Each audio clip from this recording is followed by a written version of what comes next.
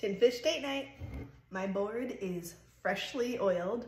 If you didn't know, you need to oil your cutting boards. You need to oil your cutting boards. Now you know.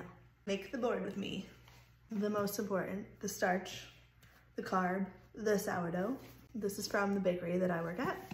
Let's it for the grapes one more time. We've got multiple mussels today, so we're gonna do a little hot sauce, pickled mustard seeds, gonna do some Josu mushroom salt, fresh tomatoes, um, some cheese favorites. Satya loves this truffle cheese. And then Point Reyes Toma is my number one favorite cheese of all time. And then membrillo. Got some classics. Let's make it.